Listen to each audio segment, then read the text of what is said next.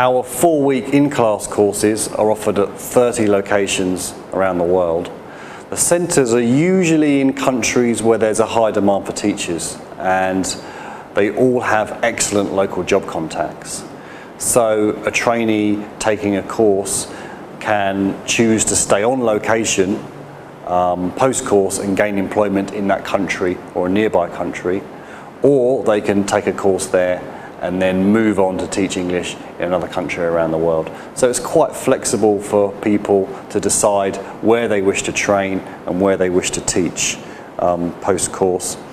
The online course is obviously more flexible because it can be studied in the trainee's own time and at their own pace from the comfort of their own home um, using a computer. The combined course is a mix between the two. Um, it features the online 120 hour online course, so you have the flexibility there. And then there's also a shorter teaching practice um, at one of the training centres. The, the dates for the teaching practice run every month, so there's also flexibility for people um, getting there for seven or ten days for the teaching practice component.